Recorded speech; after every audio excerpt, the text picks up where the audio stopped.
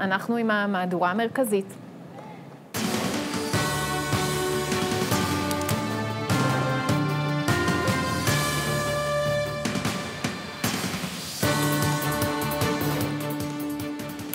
ערב טוב, הערב בחדשות. בדרום טרור הבלונים ממשיך 60 שרפות כתוצאה מבלוני תבערה ובלוני נפץ. מתחילת היום מאות דונמים עלו באש, מיד נהיה שם.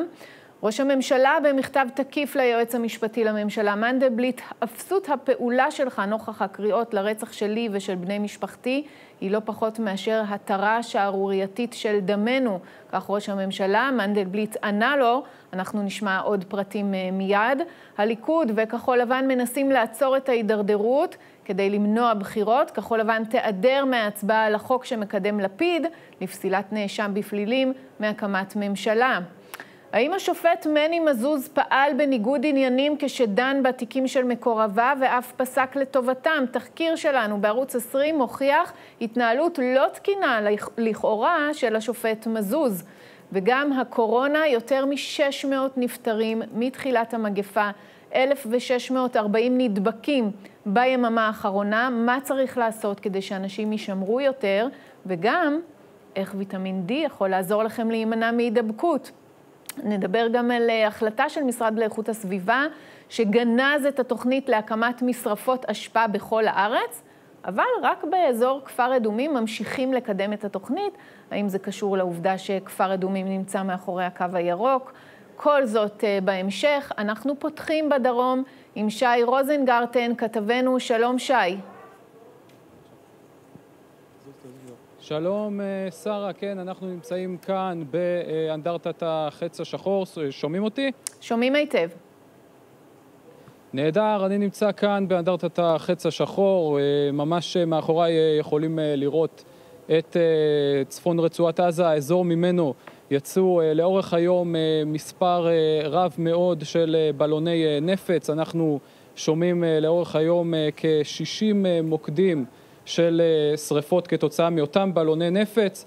אה, מספרים על כאלפיים דונמים של אה, שטח חקלאי שנשרף ופשוט נחרב לאורך היום.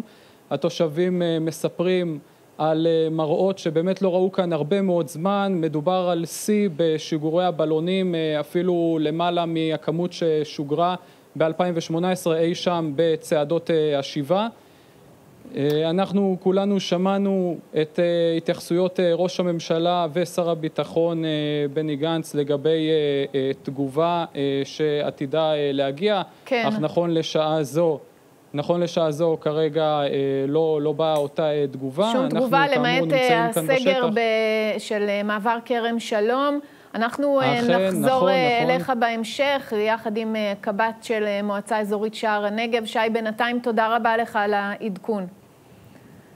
בהחלט, תודה לך, שרה. ונעבור אה, לפרשננו לענייני צבא וביטחון, קובי פינקלר, שלום.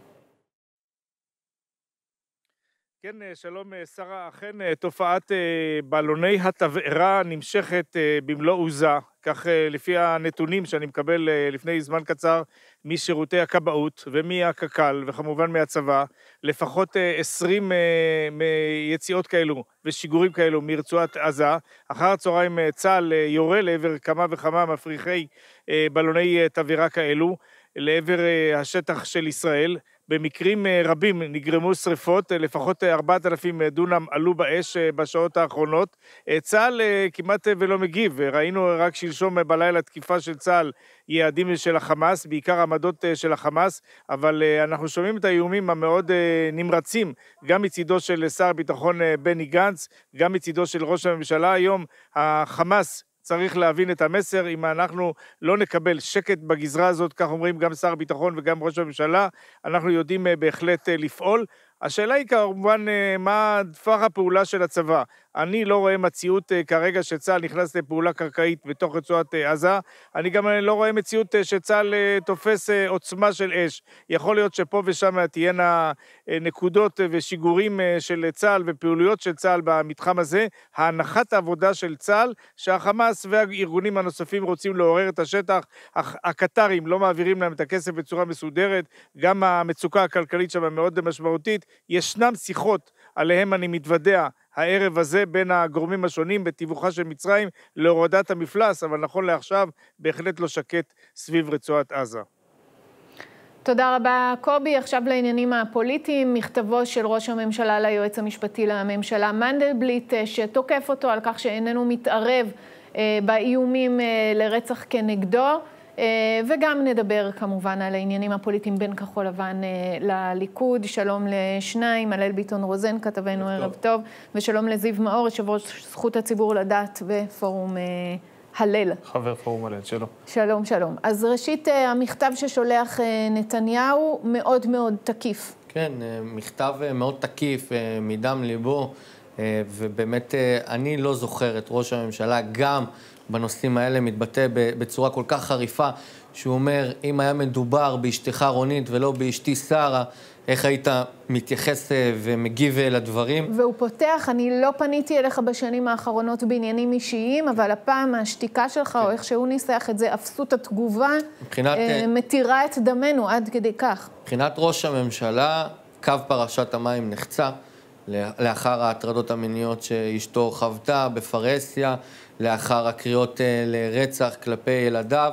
אמר עד כאן, ובאמת אה, היום שולח מכתב למנדלבליט שמגיב לדברים בביטול גמור. אומר, אין בסיס לטענותיך, אה, מטפלים בנחישות בכל אה, תלונה, ואז גם מוסיף עקיצה, גם למנהיגי ציבור יש אחריות להרגעת הרוחות. אני חושב שמדובר פה באיזשהו שלב נוסף ביחסים העכורים בין השניים, ולרבות אה, פשוט טיפול לקוי של היועץ המשפטי לממשלה, שפשוט לא מצליח לשים את היחסים האישיים, כנראה הפחות טובים שיש לו עם הבוס שלו, ראש כנראה. הממשלה, בכדי לטפל בנושא החמור הזה.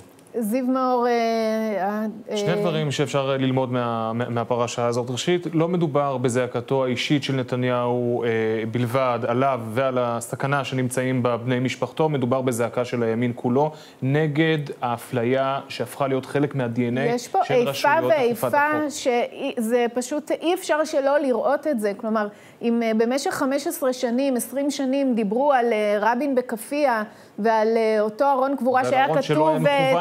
הציונות אה, אה, נהרגה. ועל הפוסטרים של אבישי רביב, שלא איש ימין כל כך הרבה שנים דיברו איתנו על זה, וכשאנחנו רואים הסתה מובהקת, אה, ושמקבלת כן. גם עידוד עכשיו, מה שמדהים זה שכשאנחנו מאזינים לתחנות השמאל, לתחנות המגזר התל אביבי, כמו גלי צה"ל ורשת ב', אנחנו שומעים פרשנים מהשמאל אומרים שוב ושוב, רק הימין מסוכן. כאשר יש הסתה בימין, רשויות אכיפת החוק צריכות לפעול, בגלל שמוכח ש, אה, אה, שרק הימין מסוכן. השקר הזה, כפי שמעידה התגובה של מנדלבליט, הפך להיות תוכנית עבודה בפרקליטות. הם אימצו אותו לחיקם, זה ברור להם לחלוטין, זה בא לידי ביטוי בטיפול שלהם, לדוגמה בסוגיות כמו תג מחיר, שעם כל ההסתייגות מהתוכן, בסופו של דבר מדובר בגרפיטי ומתייחסים אליו כאל טרור. אותו דבר גם בנקודה הזאת, כאשר השמאל מאיים באלימות פיזית, נוקט בהטרדה מינית פומבית, אנחנו שומעים שתיקה מוחלטת, מוחלטת מצד מערכות אכיפת החוק, פוליטיזציה מוחלטת וחוסר אמון של הציבור בהן. כן, בואו אה, נדבר על עוד אה, עניין, אפרופו הפוליטיזציה של מערכת המשפט. אה, תחקיר שלנו מעלה חשדות לפיהם השופט מני מזוז פעל בניגוד עניינים כשדן בתיקים של מקורבים שלו ואפילו פסק לטובתם. יאיר אוריאל, עורך חדשות בערוץ 20, פרסם היום את הפרטים באתר ערוץ 20. שלום יאיר. שלום שרה, ערב טוב. מה בעצם אה, עולה מהתחקיר שלך? כן, אז אנחנו מדברים על ארבעה מקרים שונים במשך השנים האחרונות, שבהם השופט מני מזוז, היום שופט בבית המשפט העליון ובעבר היועץ המשפטי לממשלה, מקבל החלטות משמעותיות לטובת אה, שניים שהם מקורביו מאוד, חברים קרובים שלו, כמו שהוא בעצמו העיד, אה, עורכת הדין שרית דנה ועורך הדין שלום זינגר. שני עורכי הדין האלה, דנה וזינגר, הם מנהלים משרד משותף, משרד דנה וזינגר ושות', ורק לפני שלוש שנים, ב-2017, מגיע למני מזוז משפט, שהוא יושב כשופט בית המשפט העליון כמובן, וזינגר, עורך הדין, עורך הדין שלום זינגר, מייצג את אחד הצדדים. אה, מזוז, דן בתיק ופוסק, אה, כמובן, באופן מפתיע, לטובת אה, הצד שאותו ייצג זינגר. כך לכאורה, כמובן, נדגיש, השופט מני מזוז חתום על הסדר ניגוד עניינים, בו הוא מתחייב שלא לדון בעניינים שנוגעים לשני עורכי הדין האלה, זינגר ודנה.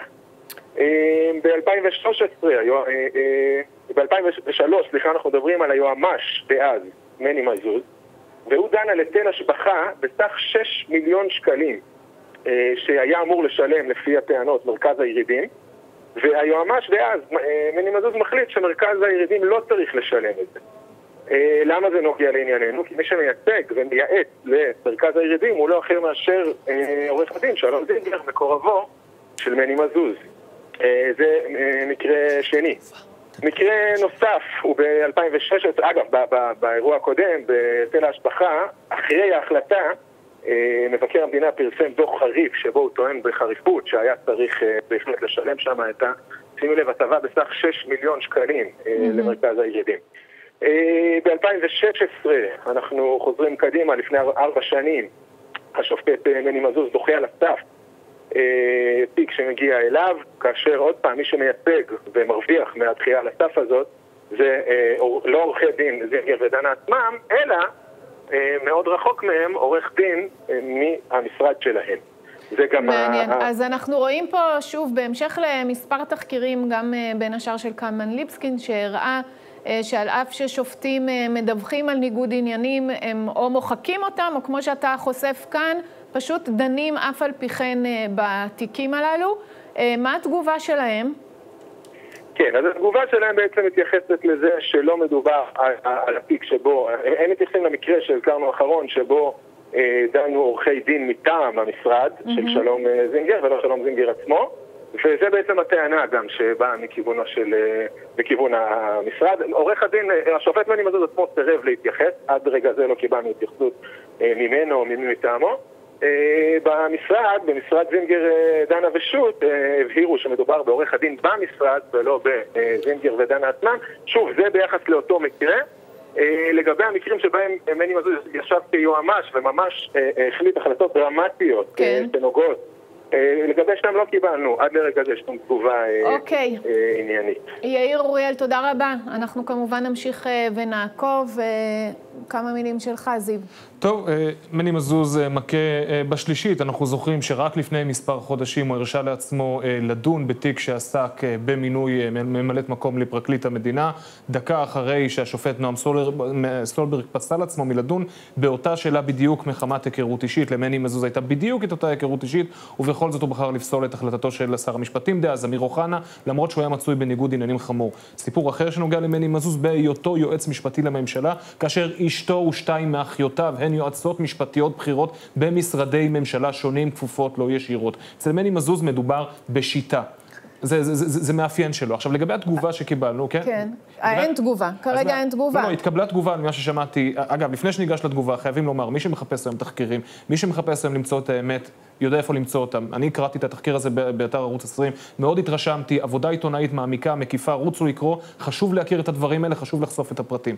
והתגובה הנבוכה והחצי מגומגמת של משרד המשפטים אומרת הכל. הם מתייחסים לכך שמדובר בניגוד עניינים בין מני מזוז לבין עורכי דין שעבדו במשרדים של מקורביו.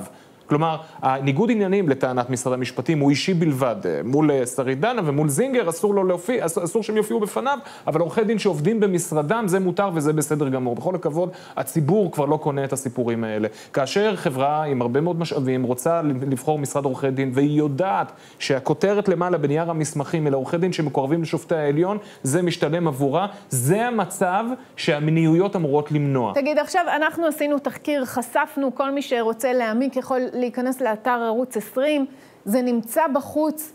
למני מזוז רועדות הברכיים לשופט מזוז, או שזה לא באמת מזיז להם? כן, אנחנו נמצאים כאן בקרב מאסף מול ממסד אה, תקשורתי שיש לו נטייה להשתיק בגלל שבסופו של דבר הם נמצאים באותה גילדה. כלי התקשורת המרכזיים, גם חדשות 12 ו-13, גם השידור הציבורי, נהנים מפרוטקציה שמתבצעת בפועל על ידי פקידים בממשלה, ובנסיבות האלה הציפייה שלנו שיהיה מעקב, שתהיה דרישה, כפי שצריכה להיות ממני מזוז להתפטר, לא רק בגלל המניפסט הפוליטי שלו mm-hmm. מאתמול, המבזה שבעצם מפקיר את דמם של חיילי צה"ל ואוסר הריסת אה, אה, בית מחבל, לא רק בגלל זה, אלא גם בגלל ניגודי העניינים המושחתים עד מעל האף שהוא נמצא בהם. אני לא אראה את הכותרת הזו מחר לא בחדשות 12 ולא בגלי צה"ל. ואולי זה מסביר את ההתייחסות או האי-התייחסות שלו בעצם לתגובה לא, המגומגמת הזאת. היית, הייתה תגובה, התגובה פשוט שקרית. הוא אומר, לא הייתי באמת בניגוד עניינים. הוא כן היה בניגוד עניינים. זה שהוא החליט להציב את הקו בין האנשים שאליהם הוא מקרב לבין העובדים שלהם, הציבור שמבין, שיודע לקרוא, שיודע לנתח ברמה הבסיסית, פשוט לא קונה את זה. כן. הוא צוחק עלינו. והוא לא להתייחס לעובדה שכיועץ משפטי לממשלה הוא גם כן. בעצם הביא ל... הטבה של שישה מיליוני שקלים. האמת היא שכאשר יואב יצחק חשף ב-2006, לפני 14 שנה, את ניגודי העניינים של היועץ המשפטי מני מזוז ואת הקרבה הבלתי נמנעת שלו לשתיים מאחיותיו ולאשתו, אה, אז הייתה שתיקה מוחלטת. אז האיש פשוט לא הרגיש שום צורך טוב, אה, לפחות הם, הם. כבר... לפחות הם מגיבים. מגיבים, תודה רבה לך, זיו. הלל, אנחנו לעניינים הפוליטיים, בכחול לבן ובליכוד מאמצים אחרונים לא להגיע לבחירות. כחול לבן ייעדרו מחר מההצבעה. אה, שבעצם מבקשת, אה, חוק שמבקש למנוע מנאשם בפלילים להיות אה, ראש ממשלה, ונושא התקציב עוד לא נפתר, אבל בינתיים נדחה במעט. אז תראי, שרה, לדעתי המאמצים הם לאו דווקא למנוע בחירות, אפילו אני אגדיל ואומר שיש כאלה שמתאמצים כדי שיהיו בחירות. מי הם? לדעתי, גם אה, בכחול לבן הבינו שהבחירות אינן אה, נמנעות ומנסים עכשיו לצאת בצורה הטובה ביותר אל מערכת בחירות, כמו שציינת. שזה לא יהיה בעצם בגללם. יפה. זה שהם נמנעים בהצבעה מחר אה, שתבוא לכנסת, mm-hmm. הם עושים את המהלך הפוליטי הנכון ביותר מבחינתם, אני אסביר גם בקצרה. החוק מחר צפוי ליפול. זה אומר חצי שנה מרגע שהוא נפל, אי אפשר יותר להעלות אותו בכנסת. במילים פשוטות, בבחירות הבאות לאחריהן, mm-hmm. לא יהיה אפשר למנוע מנתניהו להרכיב את הממשלה, כי החוק לא יעבור. אם הם היו מצביעים בעד אותו חוק, ביחד עם uh, הצעת החוק של יש עתיד כמובן, אז למעשה נתניהו יכל להגיד, בבקשה, תראו, הם מנסים להפיל אותי. אם היו מצביעים נגד, במהלך קמפיין הבחירות שלהם, כולם היו מפנים אליהם אצבע מאשימה. אתם לא עשיתם את המעשה הנכון, אז הם בחרו אה, להימנע. יתרה מכך, אנחנו מדווחים ממש אה, בשעה האחרונה, שגם אה, בליכוד וגם בכחול לבן מנסים שנייה לפתוח את ההסכם ביניהם. לפי מה שגורמים בכירים בכחול לבן דווקא טוענים שהבקשה הגיעה מצד אה, נתניהו. שוב פעם הם טוענים לסוג של אה, משחק מצידו בכדי להגיע לאיזשהו פיצוץ מול גנץ. לעניות דעתי, גם אם החוק לדחיית הבחירות, כמו שאני קורא לו, או דחיית התקציב, כמו שרבים מכירים אותו ככה בשמו, הוא יעבור בקריאה טרומית, אם הוא יעבור בקריאה שנייה ושלישית, הסיכוי קטן עד לא קיים. אתה אומר אה, עוד רגע בחירות אה, כאן, למרות שלצדדים אין שום אינטרס אה, באמת, כלומר זה לא יביא להם שום אני, דבר אני במערכת כבר, הבחירות הבאה. אני אומר את זה שבועות בודדים מאז שהושבעה הממשלה החדשה. אחרי החגים, מדינת ישראל ככל הנראה תגיע לקלפיות. אוקיי, okay, תודה לך בעניין הזה. לעניינים כלכליים, בנק ישראל מפרסם היום סקירה פסימית על המשק הישראלי במשבר, והממשלה אה, השקיעה משמעותית פחות אה, מממוצע מדינות ה-OECD. איתנו ארז צדוק, פרשננו לענייני כלכלה. כן, אה, שרה, ערב טוב. בנק ישראל בדוח החצי שנתי שלו על יציבות המשק מעצבן מאוד את משרד האוצר. הוא uh, מוציא נתון לפיו uh, האוצר השקיע 3.7% מהתוצר של מדינת ישראל במלחמה הכלכלית בקורונה, פחות משמעותית מממוצע מדינות ה-OECD, ארגון המדינות המפותחות, בהשוואה לארצות הברית שהוציאה 9.8% מהתוצר, uh, אוסטרליה שהוציאה למעלה מ-11% מהתוצר ו- ועוד. אה, במשרד האוצר אה, אומרים שלפני התוכנית הכלכלית האחרונה היה מדובר ב-7%, היום מדובר ב-13%, אה, כולל 4 ומשהו אחוזים אשראי, 9 ומשהו אחוזים מתקציב המדינה. הם, הם טוענים שהנתון שגוי, אבל גם יוצאים בצורה מאוד חריפה נגד בנק ישראל, אומרים שבנק ישראל הוא כבר לא המבוגר ולא האחראי, ושמאוד מקווים למען עם ישראל שבנק ישראל עושה את חישובי הריבית בצורה יותר אה, מקצועית. לא שמענו כאלה דברים באוצר, או שהם נמאס להם קצת מהביקורת שמעבירים עליהם, או שזה עדיין הכעס על אה, בנק ישראל שהציג תוכנית כלכלית משלו לראש הממשלה. אה, זה נתון אחד, אבל מעבר לזה, בדוח בנק ישראל אומר שמשבר הקורונה יותר חמור מכל תרחיש קיצון שהם אי פעם לקחו בחשבון. הוא אומר שהסיכון ליציבות המשק הוא בינוני עד גבוה, זה נתון מאוד משמעותי, ושלמשל החוב של החברות, אה, למעלה מ-50 מיליארד שקלים חוב של חברות מוטל בספק, בעצם אה, בסיכון 50 מיליארד שקלים שאולי לא יוחזרו לציבור, לבנקים, אה, לחברות אחרות, זה נתון דרמטי. אולי נסיים עם איזושהי נקודה אחת אופטימית. אני נמצא פה באילת, נדמה שאילת היא סוג של בועה.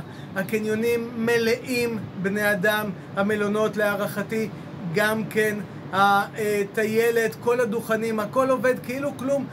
95% אולי מהאנשים פה עם מסכות, חלק גדול מהם גם באופן תקני, זה יפה. ואולי הבועה הזאת היא איזושהי אינדיקציה לכך שההתאוששות, כשהיא תבוא, כשנתגבר על הקורונה או כשנלמד לחיות עם הקורונה, תהיה אולי ברף העליון של התחזיות האופטימיות. תודה רבה, ארז צדוק. הלל, אנחנו חוזרים אליך עם אה, ממש דיווח מלפני כמה דקות. כן, הגברת שרה נתניהו מגישה תלונה במשטרה עקב אה, איומים לטענתה שקיבלה על חייה, ממש אה, בימים האחרונים. יתרה מכך, חברת הכנסת אסנת מארק קוראת לציבור להגיע ביום חמישי לבלפור ואומרת שהיא בעצמה תגיע בכדי לעשות הפגנה הפגנת הזדהות עם אשת ראש הממשלה עקב ההטרדות המיניות והאיומים על חייה, לכאורה שהיא ספגה בימים האחרונים. אוקיי, okay, דיווח נוסף אה, בעניין אה, הריסת בית המחבל okay. כן. שרצח את אה, עמית בני גל. אז פרסום ראשון שלנו בערוץ 20, גורמים בסביבת שר הביטחון בני גנץ מאשרים לנו לפני זמן קצר, שלאחר הצהרתו מאתמול שבכוונתו לפעול, הוא אכן פעל והנחה את הגורמים במשרד הביטחון לפנות באופן רשמי ליועץ המשפטי לממשלה אביחי מנדלבליט, אכן פנו באופן רשמי בבקשה לדיון נוסף בהרכב אה, מורחב בבית המשפט העליון, שאולי בעזרת השם יעשה צדק ויהרוס את בית המחבל. תודה רבה, הלל ביטון אה, רוזן. אנחנו חוזרים אה, לנגב. שי רוזנגרטן מצטרף אלינו, יחד עם קב"ט שער הנגב, אייל חג'בי. כן, שרה, אז אכן נמצא איתנו כאן אייל חג'בי, קב"ט היישוב שער הנגב, שיספר לנו מעט על המראות והתחושות מהיום האחרון. לא לדבר על זה? ערב טוב. ערב טוב. בוא תספר לנו אה, מעט על התחושות אה, של אה, מה שעובר עליכם היום. מה שעובר עלינו לא היום, עובר עלינו כבר שבוע ימים. אנחנו מתחילים להבין שקיץ 18 וקיץ 19 חוזר אלינו בקיץ 20. רק היום אה, חווינו למעלה מ-60 מוקדי שריפות, שמונה, אה, שמונה מוקדים שהיו אה, משמעותיים ועוד 60 מוקדים שכל עשר דקות פה יש לך מוקד אחר. המשמעות כאן שהצוותים, צוותי הכיבוי, הקב"א והרט"ג וקק"ל והרבש"צים וכל היחידות הכיבוי נלחמים פה על מנת לכבות את השרפות. אין ספק שטרור הבלונים הוא מתגבר, גם בלוני התבערה וגם בלוני הנפץ שמתפוצצים כאן כל הזמן. כל רגע נתון אתה שומע פה אה, פיצוץ, הדי פיצוצים, אנחנו מבינים שהעסק הולך להידרדר ויש כנראה סיכוי שיהיה פה איזה סוג של אה, הסלמה. כוח צה"ל היה מגיב על אה, הבלונים האלה גם בפעם הראשונה לפני יומיים וגם לפני, ועוד מספר פעמים שהוא הגיב. הפעם הוא החליט שהוא uh, סוגר את כרם שלום מלתת להם את ה... מ, מ, לא לספק להם את הסחורה. אנחנו מבינים שהחמאס גם ביצע ירי לפני uh, שלושה ימים, ארבע רקטות לכיוון הים, החמאס יורה על האנשים שלנו במכשול, מה עוד נשאר? המצב פה הוא מצב הזוי שלא ניתן לסבול אותו לרגע. אנחנו מבקשים מהקברניטים של מדינת ישראל שיעשו לנו כאן שקט ארוך טווח. אם כן, אה, שרה, אלו הדברים, אה, כמו שאת אה, שומעת, אנחנו כאמור נשארים כאן בשטח, אנדרטת החץ השחור, חזרה אליכם. תודה רבה, כמובן נמשיך ונעקוב. אנחנו עכשיו להפסקת פרסומות קצרה, מיד חוזרים.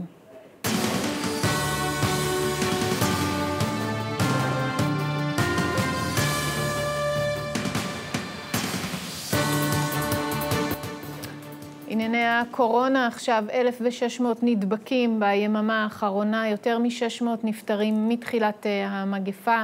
הלל ביטון רוזן, אנחנו רוצים אה, עדכון קצר שלך.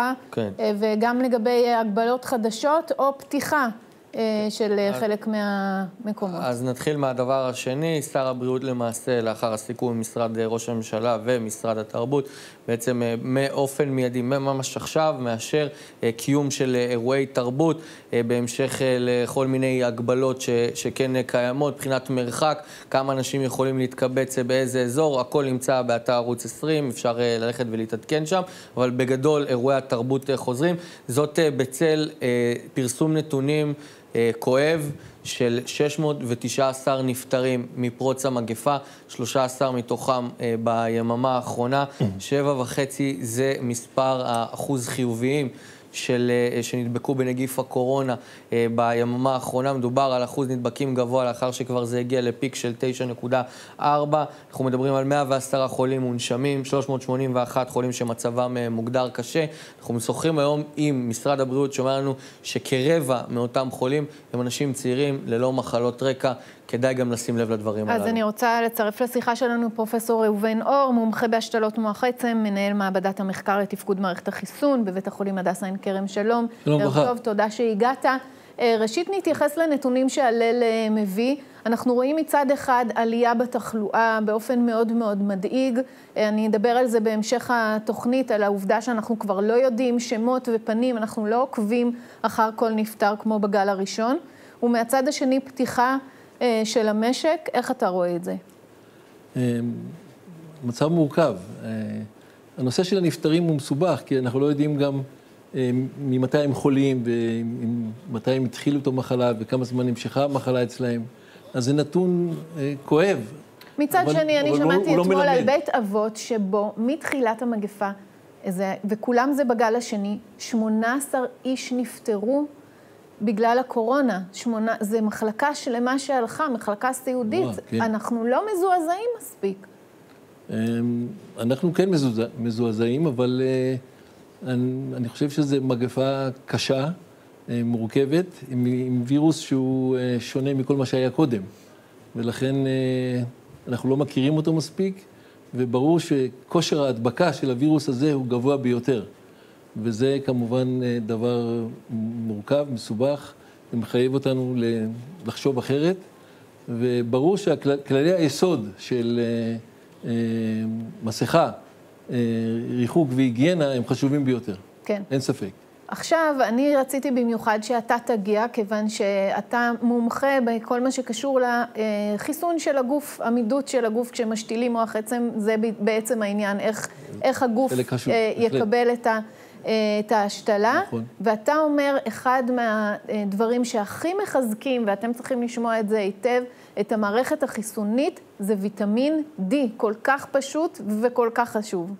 אה, כן, ויטמין D, אני לא יודע, לא הייתי מגדיר אותו הכי חשוב, אבל הוא, אין ספק שהוא אחד מהחומרים המעניינים ביותר בגוף, שהתגלה לפני כמאה שנה, אבל עדיין רב הנסתר על הנגלה, ויש הרבה דברים שאנחנו לא יודעים. על הוויטמין D התגלה בעצם אה, בעיקר בהקשר לעצמות mm-hmm. ולשרירים. אה, מחלת הרככת הייתה המחלה הראשונה שגילו שחסר ויטמ... בוויטמין D, ויטמין D mm-hmm. הוא גורם לחולשה של העצמות, ואז mm-hmm. הן אה, יותר רכות, ולכן הן גם מעוגלות, לכן זה שם המחלה. ואז גילו את הוויטמין D ואת התכונות המרפא שלו, לחיזוק העצמות והשרירים. עכשיו צריך לומר שוויטמין D אנחנו מקבלים בדרך כלל מהשמש, אבל ככל שאנחנו מבוגרים יותר, כך הגוף שלנו מייצר פחות ויטמין D גם אם נשתזף כל היום. כן, ואנחנו יודעים שזה לא מומלץ להיות חשוף לשמש בצורה לא מבוקרת. זה מסביר אה, את העובדה שאולי אה, ילדים נדבקים פחות וגם חולים פחות? העובדה שהם יותר בשמש מאשר מבוגרים? אה, ייתכן, זאת, ברור שיש הרבה גורמים, אבל... ויטמין D הוא, הייתי, אם נגדיר אותו, מה הוא עושה בגוף שלנו, אה, מעבר לעצמות והשרירים, אה, הוא בעצם הייתי כמו, הייתי מגדיר אותו כמו מגדל הפיקוח של הגוף, מאחר ובשנות ה-80 הראשונות התגלה שבעצם יש קולטנים לויטמין D על הרבה מערכות בגוף. וויטמין D הוא לא, ויטמינים בגדול הם, הם בעצם אבני בניין אפשר להגדיר אותם כך, של כל מיני mm-hmm. חומרים ותאים שהם אה, צריכים את החלבונים וכולי.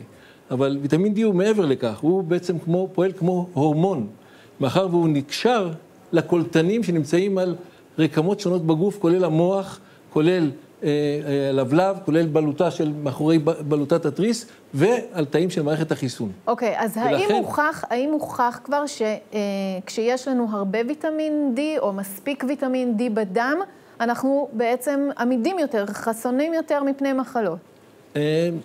זאת שאלה טובה לגבי ההוכחות. מאחר ומחקרים קליניים מבוקרים נעשים על תרופות שמפותחות על ידי חברות תרופות, ושהן אחר כך הופכות להיות תרופות מאוד יקרות, כי ההשקעה בניסויים קליניים היא מאוד גדולה. Mm-hmm. על, על, על ויטמינים, אה, ובטח גם כולל ויטמין D, אין כל כך מחקרים קליניים מבוקרים. יש מעבדה, ויש, ניס, ויש חיות, אה, אה, ניסיונות בחיות מעבדה, אבל לא כל כך על בני אדם. אבל, אבל אתה אבל, ראית בטח, אבל, אבל אבל אני אתן לך להמשיך. בגלל, קודם כל אנחנו יודעים שוויטמין D מקטין את התחלואה מווירוסים, ומקטין גם את הסכנה של מחלות אוטואימוניות. מה זה מחלות אוטואימוניות? זה מחלות שבהן מערכת החיסון חל שיבוש מסוים והיא תוקפת אה, דברים מסוימים בגוף שלנו, כמו mm-hmm. למשל טרשת נפוצה, כדוגמה. כן. אה, ויש עוד מגוון של מחלות כאלה, וויטמין D ברמות טובות מקטין את הסכנה של התפתחות מחלות אוטואימוניות, ועוד דברים אחרים. עכשיו, אה, אנחנו יודעים, למשל, כבר מהקורונה, מחקרים קליניים קטנים, שנעשו על, על חולים עם תחלואה קשה, אה, ושראו שאחד מהפרמטרים החשובים להישרדות ולהחלמה מתחלואה קשה, היו, היו רמות גבוהות של ויטמין D בגוף. אוקיי, אני אומרת, חושבת שיותר משכנע מזה אין. אתה אומר רוצה, אה, לקחת אני רוצה, פעמיים ביום וגם לש... לתת לילדים. לא, אני רוצה לשכנע את ה... את, אה, אתה את פה משוכנעת, אז זה בסדר. אני משוכנעת. אז, אבל לשכנע את הציבור שמאחר וזה רפואת המונים, זו תרופה בלי מרשם, mm-hmm. אז אנחנו לא צריכים ממש אה, שרופא ייתן מרשם. אז, אז אני, אני מאוד ממליץ שאנשים ייקחו את ויטמין D בתקופה הקרובה עד אחרי החורף, עד, עד אחרי שהקורונה תעבור, בצורה טובה. זאת אומרת, טובה זה, זה אנשים מבוגרים מגיל 12 ומעלה זה פעמיים ביום. אה, אלף יחידות, פעמיים ביום. אה, אני מאמין שיש לזה פוטנציאל.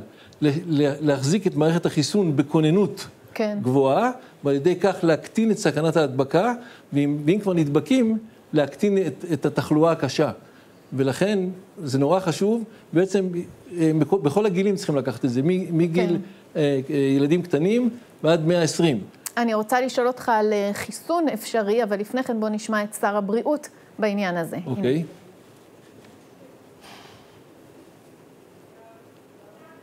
אנחנו כרגע חתומים עם שתי חברות אה, בתקווה שהם יגיעו לפיתוח אה, כמה שיותר מהר, פיתוח החיסון. אנחנו עוקבים בדריכות אחרי כל ידיעה, ולא חשוב באיזו מדינה. אה, נבדוק גם את הפרסומים, כבר קיימנו דיון על הפרסומים של אותו מכון מחקר ברוסיה על פיתוח החיסון, ובמידה ו...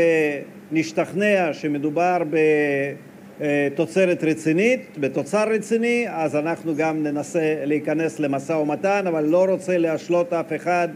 הצוות המקצועי של המשרד עובד על הדברים האלה כל הזמן.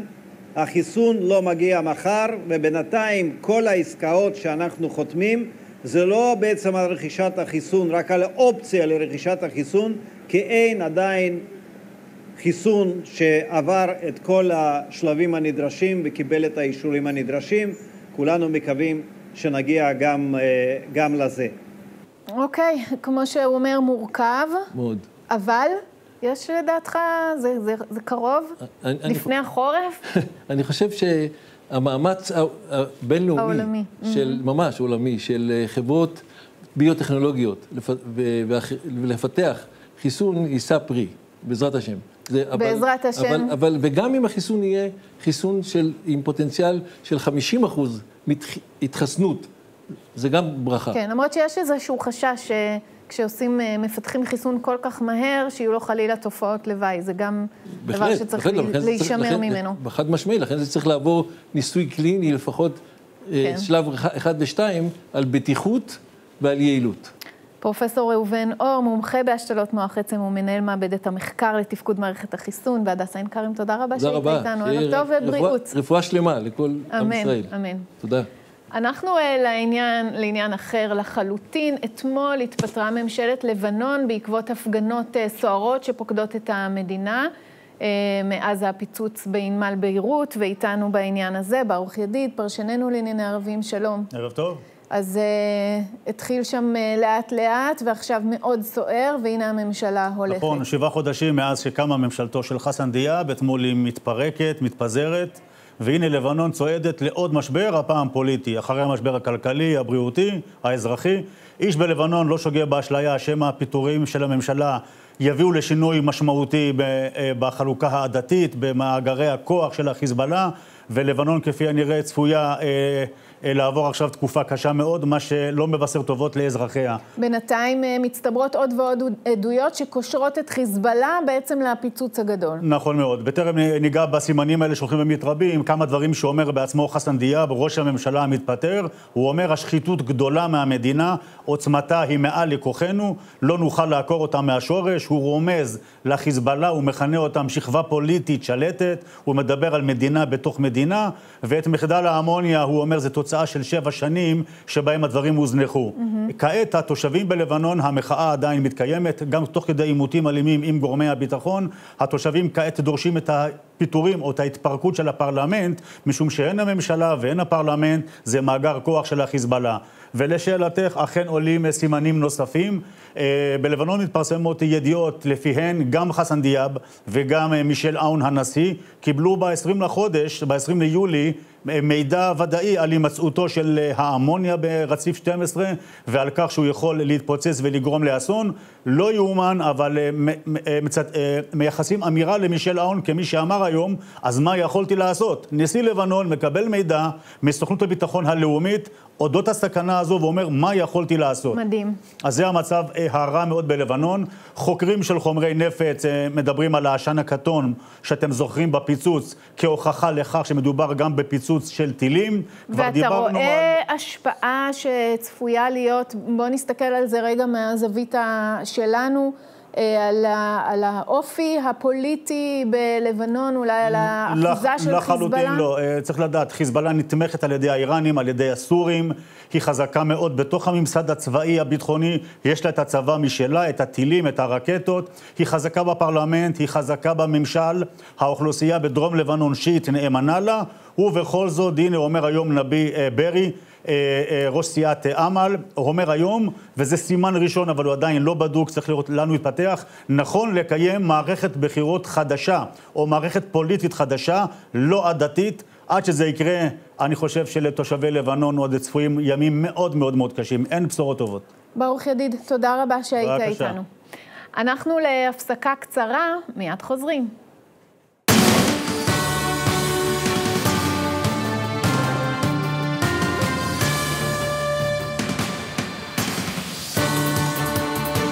לקראת החלטת אה, בג"ץ הצפויה בקרוב בעניין מצפה כרמים שבחבל בנימין, אה, שלחו התושבים לראש הממשלה נתניהו ולשר הביטחון גנץ מכתב בבקשה להסדרת היישוב סוף סוף, צריך אה, לומר, איתנו דורון לשם, תושב מצפה כרמים, דובר מטה המאבק, שלום. ערב טוב. אתם כבר כמה? 16-17 שנים בסאגה הזאת? לא, האמת קרוב לעשר שנים שאנחנו בסיפור הזה. כמה זמן המצפה קיים? 20 שנה. 20 שנה. בשנת 2000. כשצריך לומר, המדינה בעצם אפשרה את הקמת המצפה. המדינה כבר פינתה את המצפה בהסכם המאחזים הראשון בשנת 2000, היה, היה פינוי שקט, אה, העתיקו את מצפה כרמים למיקום הנוכחי. אה, החלטת ממשלה, בדיקה של המינהל האזרחי, של פיקוד מרכז, הפשרת שטחי אש, ואחרי 11 שנים שהקהילה מתפתחת והגיעה לשלב של בניית הקבע, מקבלים עתירה לבג"ץ, עתירה שעוקפת את כל ההליכים האזרחיים והראיות. ואנחנו כבר כמעט עשר שנים עם צו ביניים שמקפיא את המצב ומקפיא את החיים שלנו שם. לפני שנדבר על ההליכים המשפטיים, איך זה משפיע בפועל על החיים שלכם?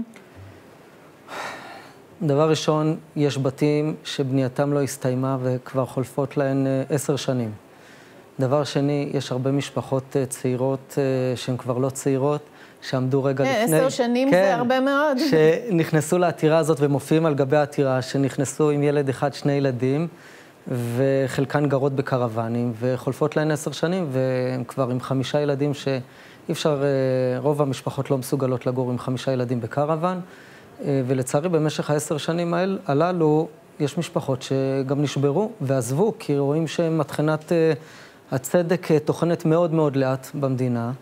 ואטימות נוראית, ששום דבר לא זירז את התהליך, כי גם כשקיבלנו פסק מהדהד בבית המשפט המחוזי לפני שנתיים, באוגוסט 2018, אה, חולפות להן שנתיים כמו כלום, כדי שבג"ץ יכריע בעתירה הראשונה שהוגשה בתחילתו של, תחילתה של שנת 2011. עכשיו, אתם רוצים להקדים רפואה למכה, וזה אומר מה? מה אתם מצפים מראש הממשלה ומשר הביטחון לעשות? מה הם יכולים לעשות כדי להימנע מהחלטת בג"ץ, כמו שהייתה למשל, באזור אה, נתיב האבות? תראי, דבר ראשון, אנחנו מקבלים uh, מסרים שההחלטה לא הולכת לכיוון, לא הולכת לכיוון טוב, uh, וזה אבסורד uh, גדול מאוד, כי בעצם חוק ההסדרה, שלא מזמן הפילו אותו בבג"ץ גם כן, גם הנשיאה חיות וגם השופט מלצר, שישבו בהרכב של חוק ההסדרה, בעצם טענו שצריך לבדוק את המקרים לגופם, ויש מקרים שצריך לפתור את הסוגיות האלה באופן מינהלי.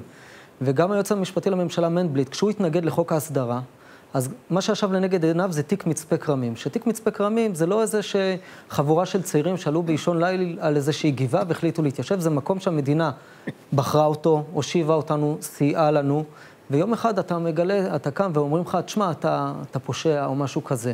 מנדבליט סבור שאת מצפה כרמים צריך להסדיר, אה, באותה נשימה שהוא התנגד לחוק ההסדרה. ואנחנו שומעים שבית המשפט העליון, בג"ץ, אה, הולך אה, גם לפגוע בנו, וחשוב להבין, תיק מצפה כרמים הוא תיק דגל, שאם לא ימצאו פתרון לעתירות האלה שבאים ועותרים בבג"ץ על איזושהי בנייה, על איזה, כמו בנתיב האבות, או כל מיני חורים, שחורים בתוך יישובים, אז איזה שכ, פתרון, ש, שבכלל אין בעלות, אה, אין, אין הוכחות בעלות על הקרקע וכולי, אנחנו לא יכולים להעמיק יותר לא בעניין המשפטי, אבל אני רק שואלת, מה אתה מצפה מראש הממשלה נתניהו ומשר הביטחון לעשות? דבר ראשון, איני יודע אם uh, בשלב הזה הפוליטיקאים עוד uh, יכולים uh, לעשות או לא לעשות, אבל uh, זו הבמה גם להעביר מסר, גם למערכת המשפטית וגם לפרקליטות המדינה. Uh, אי אפשר שבמשך מספר עשורים יגישו עתירות סרק כאלה, יוחררו יישובים, יהרסו בתים, יגרמו נזק אדיר לקופת המדינה, כי גם כשהורסים מקומות כמו מגרון, נתיב האבות, אה, תשעת הבתים בעופרה, עמונה, זה עולה לקופת המדינה עשרות ומאות ודאי. מיליונים. מי שמכיר את המספרים, מדובר על עשרות מיליוני שקלים, כי אנחנו קנינו בתים בתום לב, ואנחנו דורשים מעל במה זו ומעל כל במה, שסעיף תקנת השוק, שבו, שהוא אומר דבר מאוד בסיסי, שאם אנחנו רכשנו בתום לב, ושמו אותנו בתום לב, והמדינה חשבה בתום לב שהקרקע תקינה, שהדין שיחול אצלנו ביהודה ושומרון, ובמקרה זה מצפה כרמים, יהיה בדיוק אותו דין שחל במדינת ישראל. Mm-hmm. שפשוט, אם יש בעלים אמיתי, יבוא, יתבע את המדינה, יקבל, יקבל פיצוי. יקבל פיצוי, כמובן. פשוט מאוד, ההרס לשם. לא מוליד שום דבר טוב. תודה רבה שהיית איתנו, כמובן נמשיך אה, לעקוב. בעניין אחר עכשיו, השרה להגנת הסביבה גילה גמליאל החליטה להקפיא את יישום התוכנית להקמת משרפות פסולת כדי לבחון מחדש את המדיניות הזו, אבל הם, במקום אחד עדיין ממשיכים לתכנן את אה, המשרפה להשפעה. וזה נמצא בכפר אדומים. האם זה קשור לעובדה שזה נמצא ביהודה ושומרון? איתנו בעניין הזה. שתיים, יעל ישראל, מטה המאבק עוצרים את המשרפה, שלום לך, ושלום לדוקטור סיניה נתניהו, כלכלנית משאבי טבע וסביבה, ולשעבר המדענית הראשית אה, במשרד להגנת הסביבה. אז ראשית, יעל, מה קורה בשטח? קודם כל, בשטח היום יש כלים. כלים שעובדים ללא היתר בתוך שטח של תב"ע שבכלל מיועדת להטמנה. ועשו איזה מין משהו כזה ואמרו, בואו נהפוך את זה למשרפה. אנחנו עתרנו לבג"ץ גם בנושא הזה. השופטת דפנה ברק ארז אמרה, נתנה למדינה 30 יום להגיב. אני לא רואה שתגובה של מדינה לעתירה זה לשלוח כלים לשטח. אוקיי, זה דבר אז ראשון. רק נסביר אה, לצופים שלנו, בעצם הרעיון הוא להיפטר מפסולת דרך שריפה, לא דרך הטמנה ולא דרך הפרדה ומחזור וכולי. הגיעו למסקנה בזמן השר הקודם, אלקין, שכדאי לשרוף את זה, שזה הפתרון הטוב ביותר, ואתם אומרים, זהו זיהום לאיכות הסביבה, נכון? אנחנו אומרים כמה דברים. הסביבה. דבר ראשון, אנחנו אומרים, יש דרך לטפל בפסולת, היא נהוגה בכל העולם, קוראים לזה מדרג לטיפול בפסולת. תכף אנחנו נשמע את, התרחיב, את כן? הדוקטור בעניין. אז יש דרך, וצריך לבדוק את הכל. שוב, הדבר השני, גם אם מחליטים באיזשהו אופן ורוצים לגבש מדיניות, אי אפשר לעשות חצי מדיניות. מדיניות במדינת ישראל א', מדיניות מעבר לקו הירוק ב', מה גם שאנחנו יודעים שלמשרפה, שהיא קרובה קילומטר אחד לבית הספר של הילדים שלנו, ישלחו את הפסולת של ירושלים ומודיעין ובית שמש. אז איפה המדיניות של מדינת ישראל? דוקטור אה, סיני נתניהו, למה יעל, שגרה לא רחוק מהמשרפה הזאת, צריכה לדאוג? כתבת מסמך מפורט שבעצם מסביר את זה, מה עיקריו. אה, העיקרים הם, אה, לפני שאני נוגעת בנושא של, אה, של, של הקרבה ליישובים, ולפני שאנחנו נוגעים בכלל במיקום הספציפי ובסוג הטיפול הספציפי, או הטכנולוגיה הספציפית, אני בכלל מעלה, מעלה כאן לסדר היום השאלה של מהי המדיניות שלנו של הפסולת.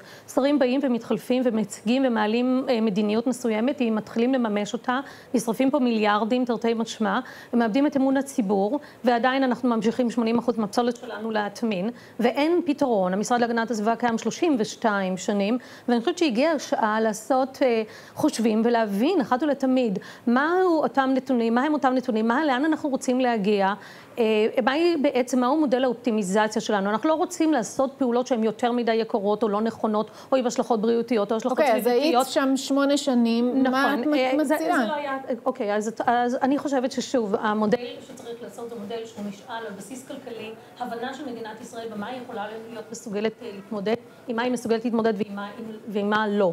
יש הרבה מאוד פתרונות, אבל כל הפתרונות האלה של עיכול אדרובי, של, של הטמנה, של שריפת של הפסולת, אלה פתרונות. פתרונות, אלה טכנולוגיה, אלה אמצעים, אלה לא המטרה, mm-hmm. אוקיי? אחד הדברים שצריך, או, או מדובר עליהם היום באירופה, זה נושא המדרג, זה לחלץ חומרים, חומרי גלם מתוך הפסולת. זה הדבר הראשון שמדינת ישראל צריכה לעשות.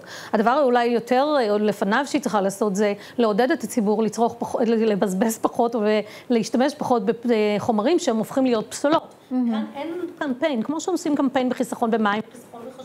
צריך פה להיות קמפיין, זה הדבר הראשון שהמדינה חייבת okay. אוקיי. לעשות. Uh, צריך לומר שאנחנו פנינו למשרד להגנת הסביבה, הם אומרים שאין התקדמות בשטח שנוגעת uh, למתקני השבת אני חושבת שהרגע הראיתם תמונות, זה תמונות מהיום, כן? כן, והם אומרים שהעבודות שנמצאות שם עכשיו קשורות לפיתוח של האזור שלא קשורות למשרפה. זה נורא מעניין, כי אם תשימי לב על הארגז שצולם והראיתם את התמונה שלו, כתוב השמרוני הטוב, שזה משרפת... השמרוני הטוב, כן? כן, אני חושבת שמעבר לכל דבר, אה, המדיניות לא קונסיסטנטית, היא לא עקבית, לא יכול להיות שיש מדיניות אחת לגבי משרפות שבאזור אה, גוש דן, והיא כן. מדיניות אחרת. מדיניות זה מדיניות, והמדיניות צריכה להיות מתכללת, וככה קל צריך להיות כל המשרד של הגנת אוקיי, הסביבה. אנחנו נמשיך אה, ונעקוב. אני רוצה לשאול אותך משהו אישי, תגידי אם את רוצה להתייחס כן או לא. את קרובת משפחה בדרך רחוקה של ראש הממשלה נתניהו. מה את חושבת על המתקפות עליו ועל משפחתו? אני, קודם כל, אני לא חושבת שזה המקום שלי להתבטא בנושא הזה. לא רוצה אה, לא, להתייחס. אני חושבת שצריך לכבד כל אדם, כל אדם כאדם, קודם כל, זה הדבר הבסיסי ביותר. יפה, אז זאת אה, התייחסות, נדמה לי, אה, ראויה. אנחנו חייבים לעבור לעניין הבא. תודה רבה לשתיכן. בשבוע שעבר נודע שתוכניות לחיזוק הלימודים ברמה של חמש יחידות במתמטיקה נמצאת בסכנת ביטול.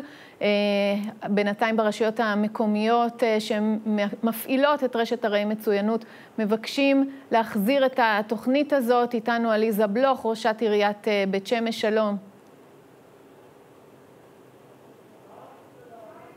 אנחנו לא שומעים. עליזה? ערב טוב. ערב טוב. תגידי לנו, למה את חושבת שזה כל כך חשוב?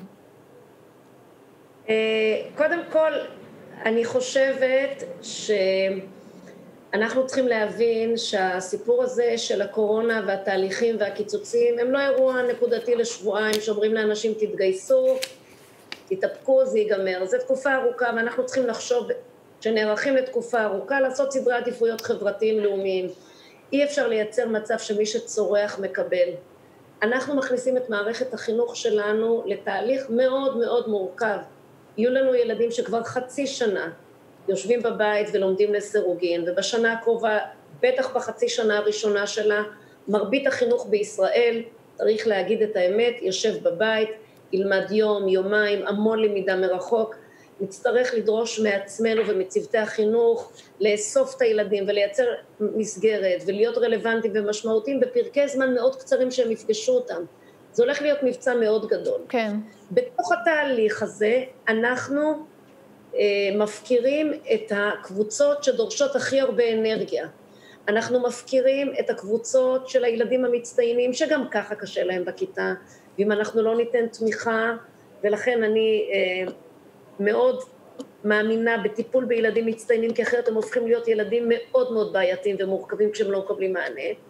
ובצד השני, כל הקבוצות של הילדים שלומדים במסגרת הילה, תקני חינוך מיוחד, קרן קרב, כל התהליכים האלה קוצצו כרגע, שזה אומר שאנחנו לוקחים את הילדים הכי מאתגרים של מערכת כן. החינוך, שגם ככה קשה להם, אנחנו אומרים אם לכולם קשה, עכשיו יהיה לכם קשה יותר.